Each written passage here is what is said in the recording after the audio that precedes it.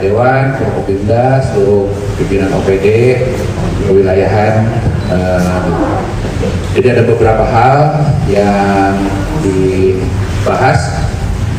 Pertama adalah bagaimana kita mengantisipasi peningkatan penyebaran COVID-19 eh, karena adanya subvarian baru BA4 dan BA5 intinya adalah tadi kami sepakat bahwa eh, proses vaksinasi adalah salah satu ikhtiar kita eh, mencegah penyebaran COVID-19 dan eh, tadi kami sampaikan kita sepakat bahwa saat ini dosis satu kita sudah di angka 114 persen, dosis dua kita sudah di 104 persen, dosis tiga kita saat ini masih di 35 persen dan tadi kami sepakat semua di akhir Agustus target eh, dosis tiga itu di 50 persen, kurang lebih memerlukan eh, 298 ribu eh, sasaran. Kalau kita bagi eh, 151 kelurahan itu targetnya per hari satu kelurahan itu 44 sasaran. Mudah-mudahan ini target minimal.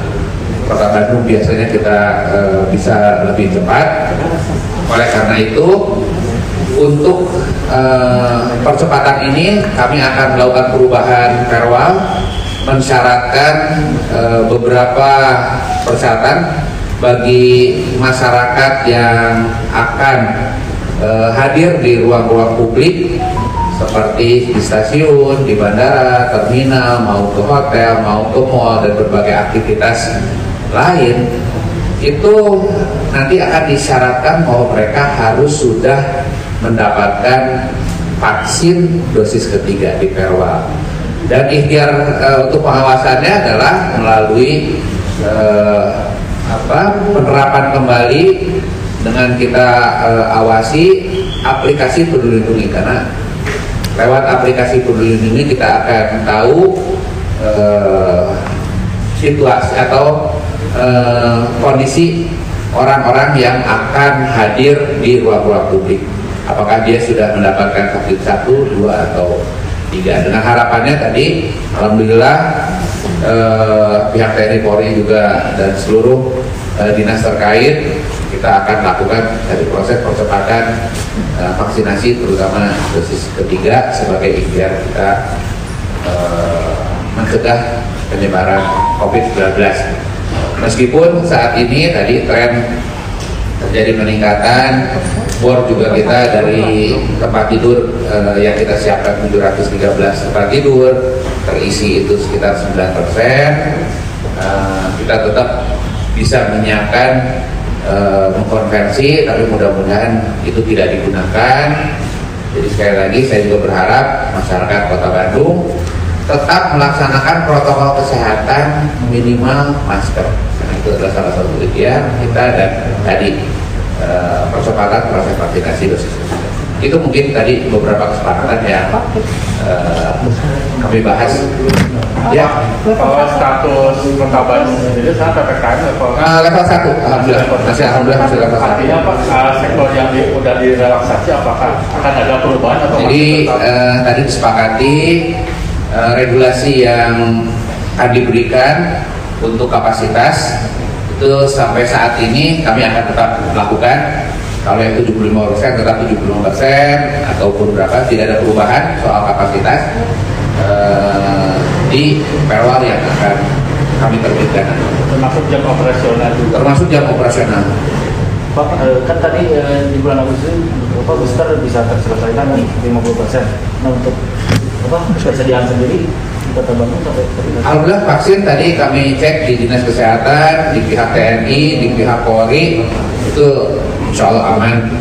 Mudah-mudahan dari target kita minimal 50 persen, biasanya kota Bandung eh, bisa lebih cepat. Insya Allah. Pak penerapannya mulai kapan Pak yang pengetatan di ruang publik itu lewat Jadi eh, mudah-mudahan hari ini kita bisa terbitkan eh, perwal berlaku sejak perwal terbit.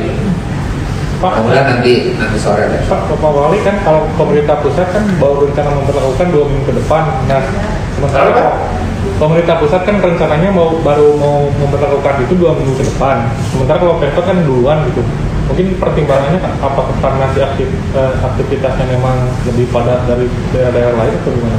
kan gini eh, kota Bandung penduduknya itu kan 2,5 juta malam itu kan 3,7 juta. Jadi sebagai kota metropolitan dengan aglomerasi Bandung Raya kita itu resikonya kan jauh lebih tinggi ya. Karena memang eh, apa penyebaran itu lewat transmisi eh, pergerakan eh, penduduk. Jadi tentunya karena kami juga berdasarkan data yang ada terjadi peningkatan terus eh, baik jumlah kasus, positivity rate kita sudah juga di angka 3, sekian, bor juga kelihatan meningkat meskipun bed occupancy rate atau keterisian tempat tidur itu kan faktanya 40% itu kan memang yang ngisi di rumah sakit itu penduduk luar kota Bandung ya 60% memang warga kota Bandung. Tapi tadi eh, kalau kita bisa lebih cepat mengatasi ini lewat regulasi yang kita tetapkan yang tadi sudah disepakati oleh seluruh pimpinan kota saya pikir ini jauh lebih baik ya sehingga kita lebih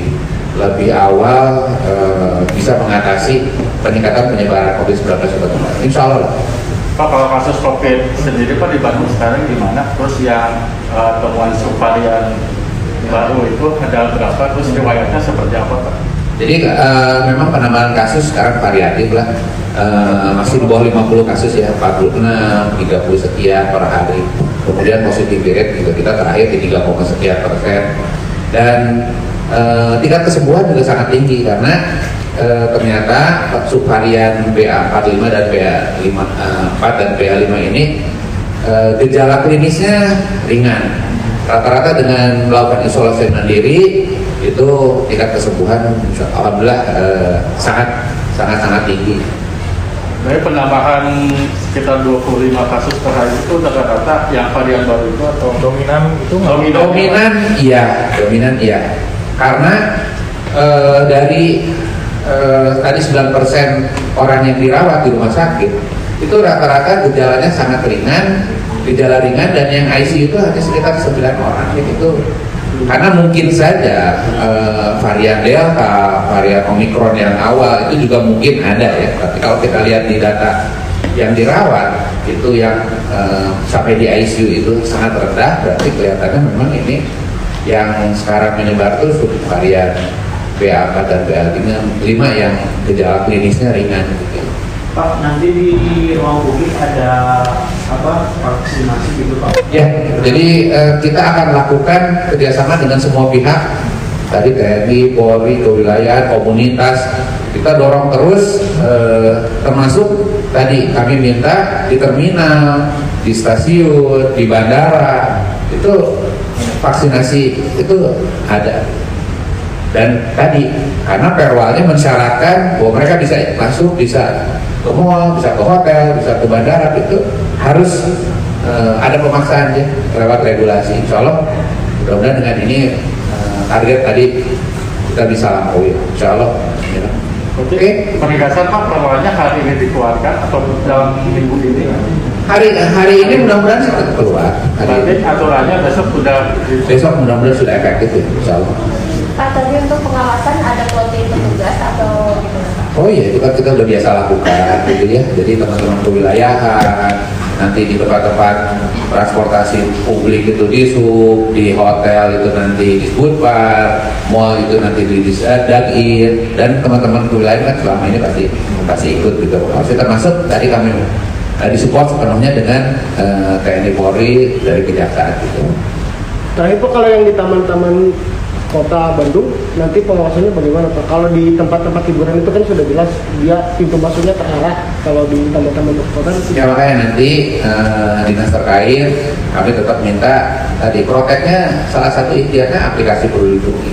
Mudah-mudahan ini tadi kita bisa lakukan pengetatan semata-mata untuk kebaikan kita semua. Kita saling ngawasi ya. Dan mengawasi itu kan sebenarnya tadi orang udah dapat vaksin 1, 2, 3 itu saat ini hanya aplikasi peduli lindungi. Jadi itu yang kita harus eh, konsisten eh, kita gunakan. Oke. Mohon. Assalamualaikum warahmatullahi wabarakatuh.